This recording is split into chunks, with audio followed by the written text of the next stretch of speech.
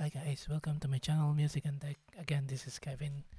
Today I'm going to discuss um, using your addictive keys in Ableton. So I'm using a MacBook Pro with an M1 chip.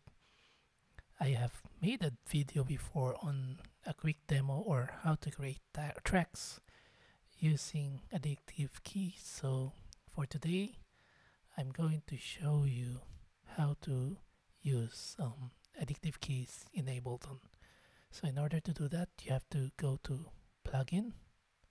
So again, just go to plugin, insert a MIDI track, and then drag your addictive keys.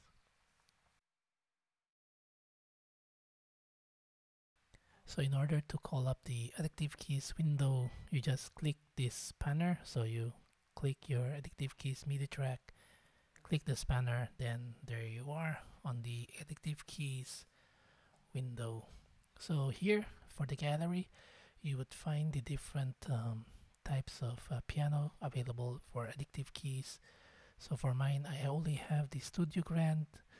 Then if you want to purchase the Modern Upright you can see um, the installation for addictive keys in the video link in the description below and also the uh, how I made tracks using addictive keys. So if you want to view that just click those links. And then um, you have the electric grand. But for myself I have the studio grand. So for studio grand you can select the different uh, types of presets that is available for this plugin. So you have um, studio Studio Grand with H strings, so it would sound like this.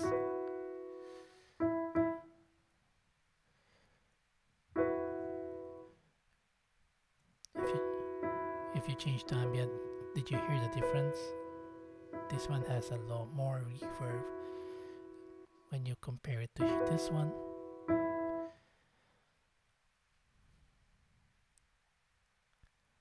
Let's try Mr. Bright.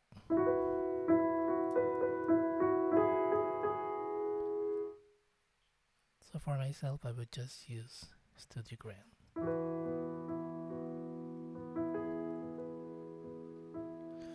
So the thing is, um, for addictive keys, if you have this, you can uh, adjust the presets that is available for Studio Grand. You can even choose uh, different types of um, how to make it sound differently according to your preference. So it will change once you select these.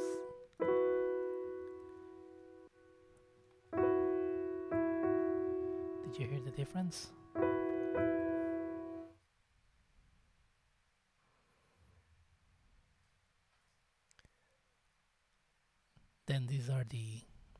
location of the microphone for pickup on the sound so you can adjust the timbre effects tone if you want to make it soft hard so you just adjust this accordingly.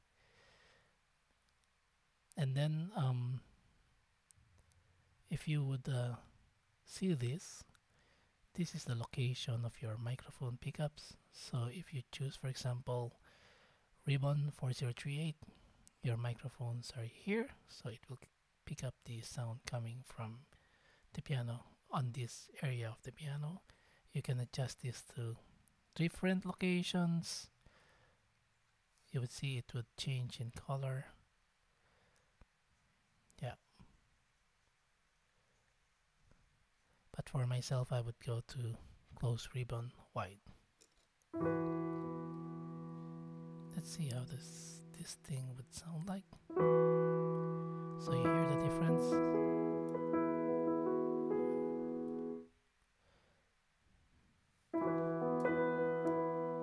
So now it's more echoey if you put the microphones there. So each microphone you can even adjust the noise if you want. You can put, wait.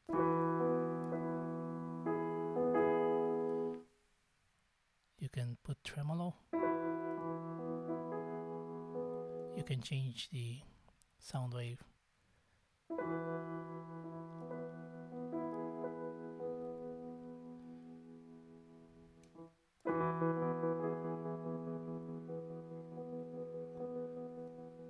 But I don't like to use this. Then you can adjust your equalizer too. So if you can drag this or bring it down move it up or move it to the left then move it up. So it's up to you. Depends on your preference and you can even add chorus. You can reduce the depth.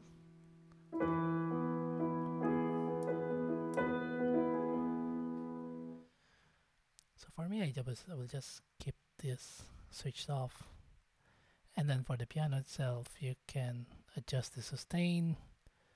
You just need to press click then move it left or right. So for me I don't adjust these things. I just leave it like that. You can adjust your pitch filter and volume. Yeah.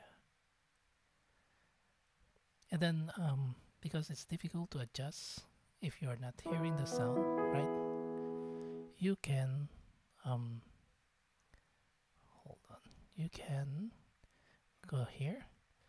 Then you can record your piano uh, your the way you play your piano.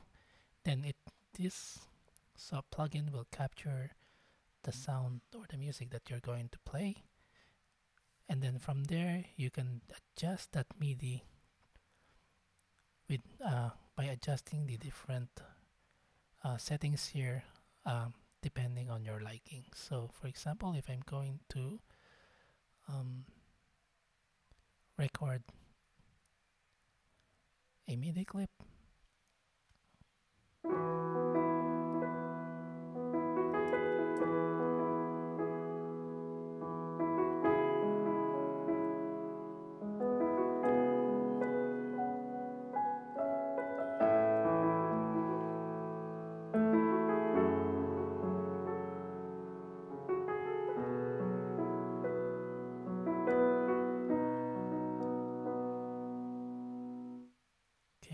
stop that then you have a new clip here. This MIDI clip you can drag it onto your MIDI track. So if you go to session view let's let's bring this down a bit.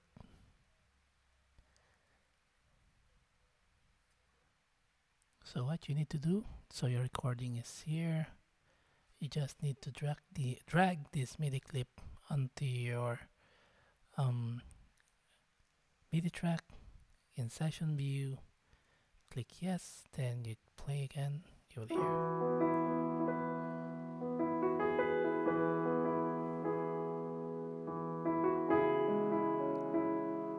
So this clip you can just copy so command C paste command V. So So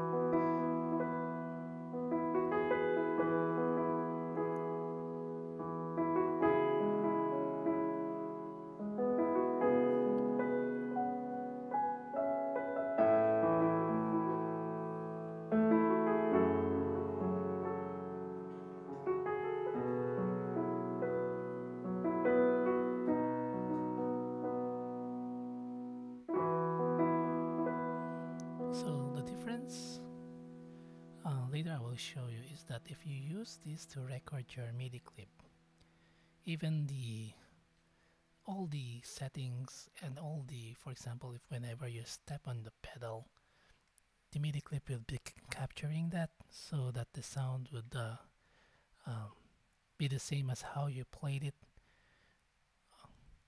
So that's a good thing about creating a MIDI track using this recorder. So from here, you just close this and then you just play the MIDI clip.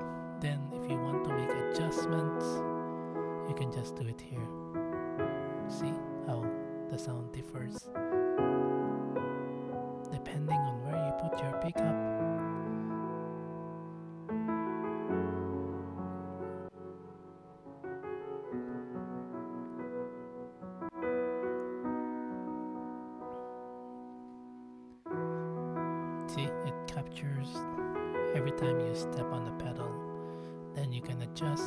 anything that you want just the tuner tune effects. Sample shift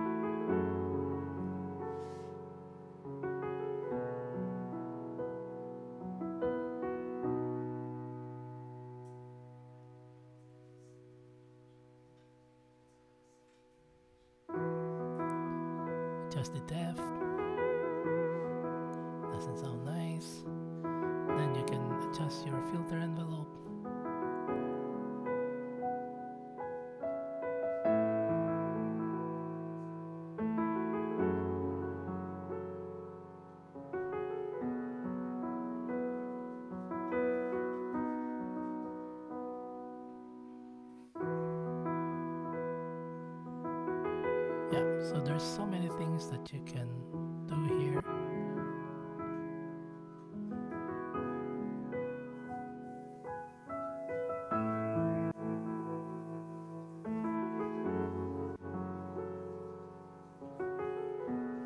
Yeah. So it's up to you.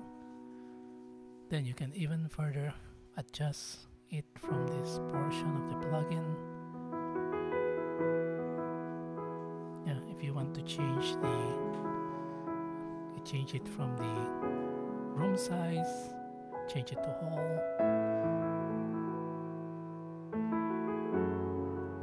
You can increase the master volume.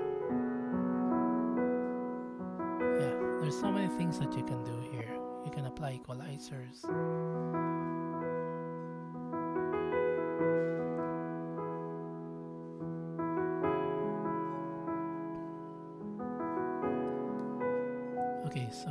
what's the difference of creating a MIDI track using your Ableton? So the difference is that if you would create a MIDI track with just Ableton and not the um, memo that you have here, the memo option here you have with Addictive Keys, then you will not hear the application of the pedal. So for example, we try, I would record a MIDI track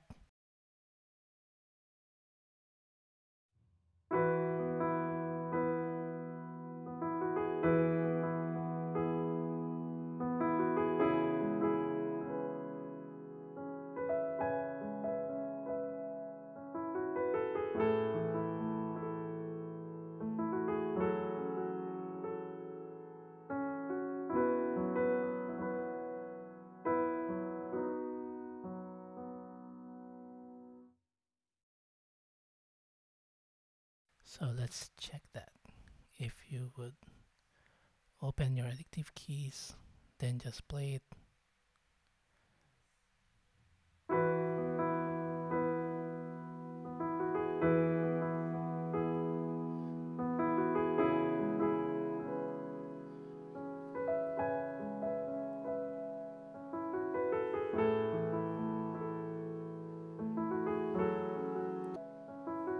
But it's also you can adjust the settings while you're playing this so it's for your um, preference.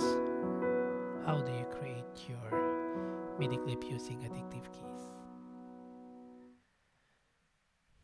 So again that's it for today. I think uh, I have nothing else to discuss here unless we go on a deep dive discussion on each effects but um, if you like this video please click like and then if you would like to subscribe to my other to my channel so that you would see my past videos and future videos please click subscribe.